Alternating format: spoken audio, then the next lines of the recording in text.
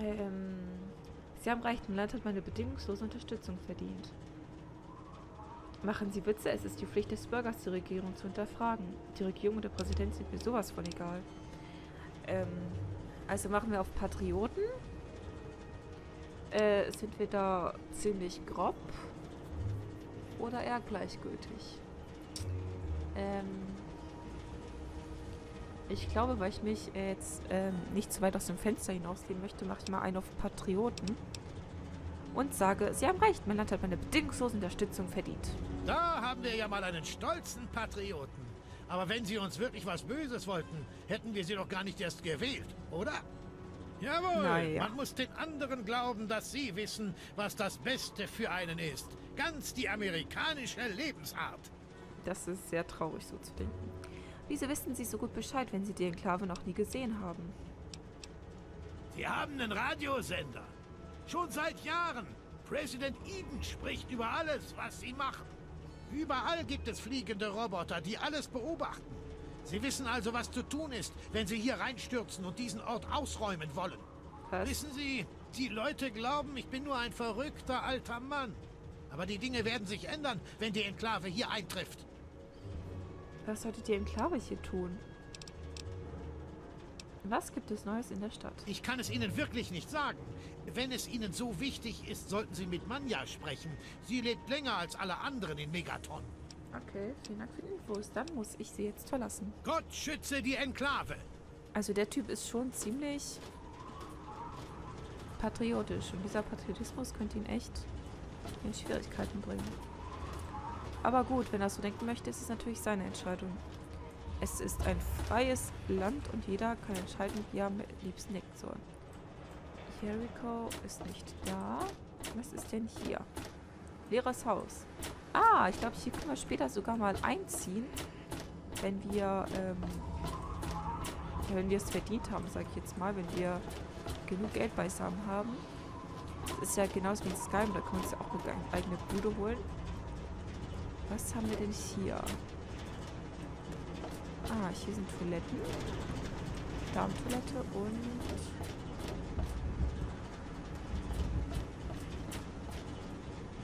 Wer ist das? Manja. Hallo Manja. Hallo, ich bin Manja. Der alte Knacker, der hier rumläuft, ist mein Ehemann Nathan. Ach so. Sagen Sie Bescheid, wenn wir Ihnen irgendwie helfen können. Sprechen Sie nicht mit Nathan. Er labert Sie nur mit der verdammten Enklave voll. Äh, zu spät. Ähm, ich hätte ein paar Fragen zur Geschichte dieses Ortes. Ich kann Ihnen fast alles sagen, was Sie wissen wollen. Die Geschichte von Megaton ist kein Geheimnis. Das freut mich. Aus was wurde dieser Ort hier gebaut? Vor langer Zeit, noch vor dem Krieg, gab es Maschinen, sie waren wie Busse, aber flogen am Himmel und brachten die Leute überall hin. Man musste nicht laufen, sondern ging einfach zur Flugstation, kaufte sich eine Karte und stieg in den Himmel auf. Das gab's überall auf der Welt. Als der Krieg begann, fielen die Maschinen aus dem Himmel. Alle hier glauben, dass die Bombe den Krater verursacht hat, aber das stimmt nicht. Der Krater bot guten Schutz vor den Sandstürmen. Und als Papa und der Rest sich entschieden, die Mauern zu bauen, verwendeten sie das, was sie hatten. Warum haben Sie die Bombe nicht woanders hingebracht? Einige wollten die Bombe loswerden. Die Kirche des Atoms war da noch neu. Wir brauchten ihre Hilfe beim Bau der Mauern und Beseitigen der Trümmer. Wenn wir versucht hätten, die Bombe wegzuschaffen, hätten sie uns nicht geholfen. Außerdem wollten viele Leute die Bombe einfach in Ruhe lassen. Sie tat niemandem weh und niemand konnte sagen, was passiert, wenn wir es vermasseln. Das stimmt natürlich. Eine falsche Entscheidung könnte das Ding zum Explodieren bringen. Ein Haufen Teile für nur eine Maschine. Gutes Auge. Ja, stimmt genau. Einige Meilen von hier gab es eine Flugstation. Bis auf die Flugzeuge wurde alles geplündert.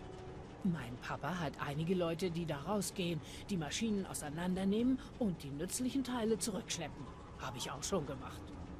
Man kann gar nicht mehr erkennen, wo die Flugstation mal war. Das Ödland hat sie zurückerobert. Können wir sie trotzdem finden? Warum die Wände aus einer alten Flugmaschine bauen?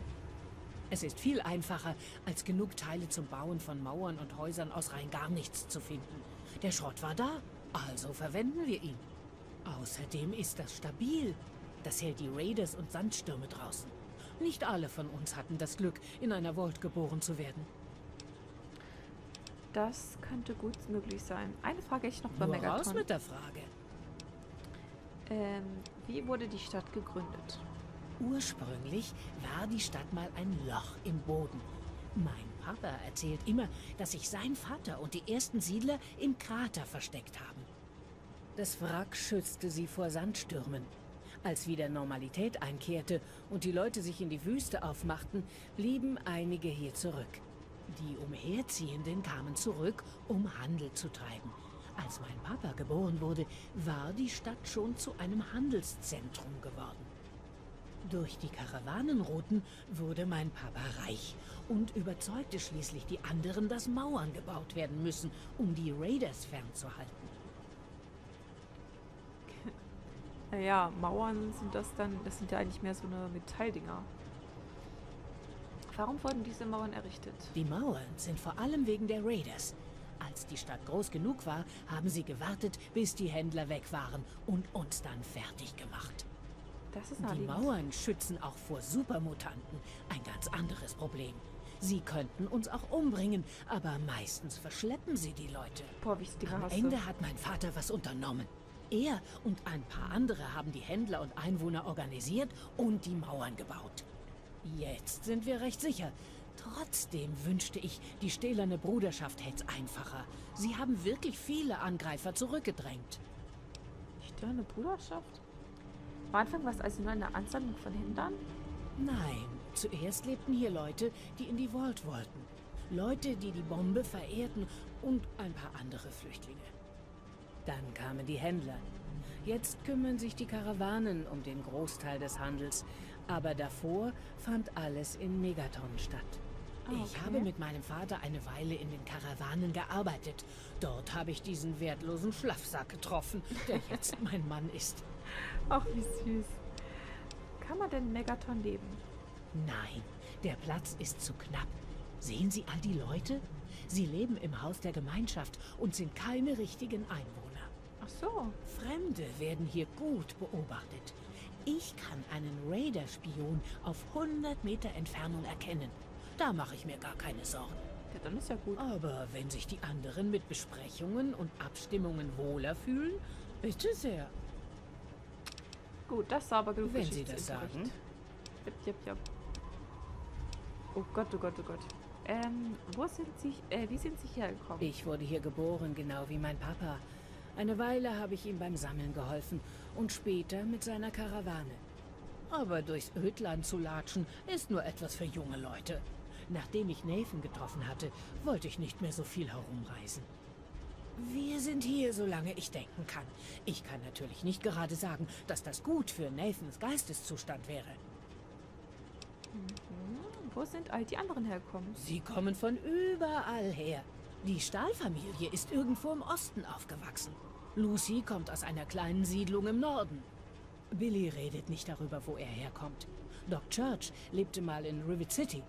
Jericho, naja, sagen wir mal, dass sich die Menschen ändern. Was soll das heißen? Hoffe ich jedenfalls. Okay, wer hat hier in der Gegend das Sagen? Stimmt Lukas Sims, oder? Genau genommen hat hier keiner das Sagen. Aber man kann keine zwei Leute in einen Raum packen, ohne dass einer versucht, den anderen zu kontrollieren. Es hängt allerdings davon ab, wen man fragt. Lucas Sims hat sich selbst zum Sheriff ernannt. Er wirft jeden raus, der zu viel Ärger macht. Colin Moriarty gehört fast alles andere. Hier passiert nicht viel, über das er nicht Bescheid weiß oder das er nicht selbst plant. Oha, was er selbst plant? Erzählen Sie mir von Colin Moriarty. Das ist übrigens ja auch der Typ, der angeblich unseren Dad gesehen haben soll. Äh, den wir, den wir ja immer noch suchen. Ähm, ja, Manja, was kannst du uns denn über Colin Moriarty sagen? Äh, Moriarty, dieser Name. Dieser Mann ist der Abschaum der Erde.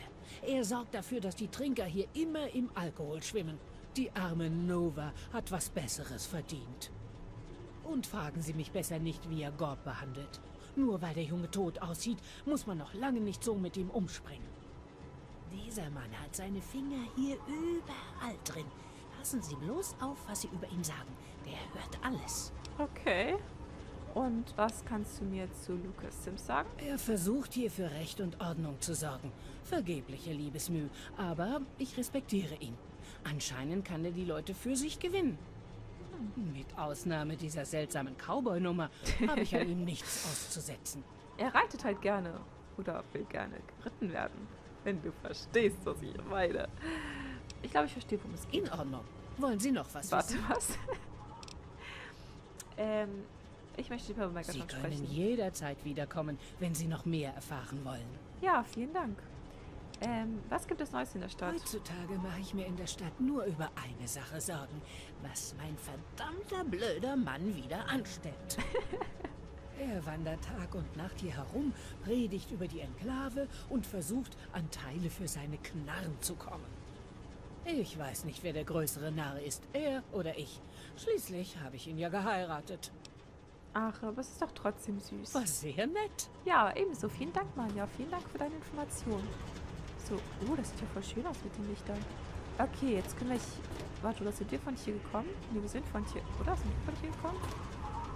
Nee, Billy Creel. Nee, von hier sind wir nicht gekommen. Also, Billy Creels Haus ist verschlossen. Ja, es ist jetzt auch Nacht. Das heißt, sie sind hier eher alle am Schlafen. Ah, und hier ist Moriarty's Saloon. Ja, ich würde mal sagen, eben die perfekte Tageszeit ähm, erreicht, um den Salon zu betreten. Jetzt bin ich mal gespannt. Hallo Nathan. Mach schon, du Schrotter. Ja, hier ist hier ist Sweet, also, also Gary. Jericho. Hallo. Ich sagte doch, dass es nicht das Radio ist. Der Empfang des Radiosenders der Enklave ist okay. Aber das Signal von Galaxy News ist schlecht. Hä, wer ist das denn? Los. Er Verdammtes nicht. Radio. wie? Verdammte Scheiße. Ähm, Gerade als ich schon fast die Hoffnung aufgegeben hatte. Freut mich wirklich, Sie kennenzulernen. Ich bin Mr. Burke. äh, hallo. Und Sie? Naja, Sie sind kein Bewohner dieser fauligen Jauchegrube. Das lässt Ihren Marktwert steigen. Danke. Ähm, ach so. Verstehen Sie nicht? Sie sind eine Art Freiberufler. Sie haben hier keine Wurzeln, kein Interesse an der Siedlung. Megaton bedeutet Ihnen gar nichts. Ich vertrete bestimmte Interessengruppen. Und diese Interessengruppen sehen diese Stadt Megaton als Pestbeule in der urbanen Landschaft. Wenn diese Siedlung weg wäre, würde das wirklich jemanden stören? Uns beide doch wohl nicht. Ähm, nur zu. Ich bin ganz ohr. Moment, Sie haben vor, die Stadt zu zerstören? Sie sind krank, Burke. Dieses Gespräch ist beendet. Ähm, was? Nein, nein. Ich bin nur der Anwerber.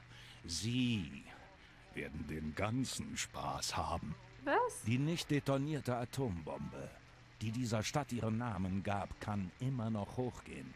Man muss ihr nur einen kleinen Schubs geben. Ich habe eine Fusionsimpulsladung. Wenn sie an der Bombe angebracht ist, können Sie sie von einem sicheren Ort aus hochjagen. Leichtes Geld für Sie. Ähm. Was? Nein. Wenn wir die Siedlung in die Luft jagen, dann töten wir doch auch die ganzen Menschen, die hier leben.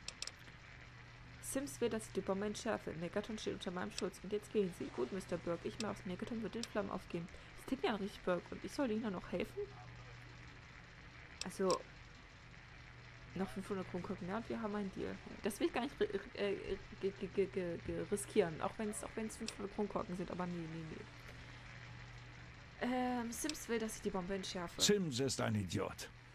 Er ist stolz auf seine Position als Bürgermeister und Sheriff dieses Schrottplatzes.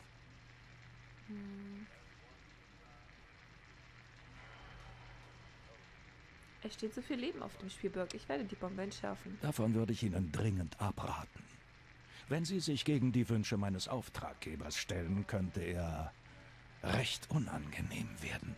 Oh, hab ich Angst. Ähm, nö, ich mach's nicht, nö. Oh, verstehe.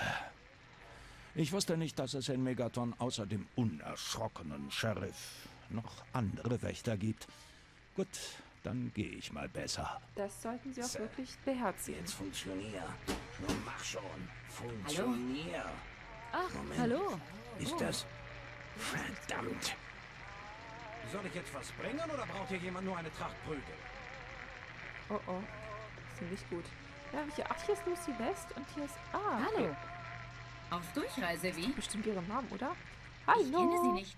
Sind Sie neu in der Stadt? Oh, die sieht gar nicht mal so schlecht aus. Genau, bin auf der Suche nach Beschäftigung. Wenn du kurz Zeit hättest. Ich hoffe, Sie meinen damit eine Arbeit, sonst sollten Sie sich mit Nova unterhalten. ich suche jemanden, der eine Lieferung für mich erledigt. Sind Sie interessiert? Ja, klar, warum nicht? Prima. Bringen Sie bitte meiner Familie in der Siedlung Arafu diese Nachricht. Ich habe seit Monaten nichts von Ihnen gehört und mache mir Sorgen.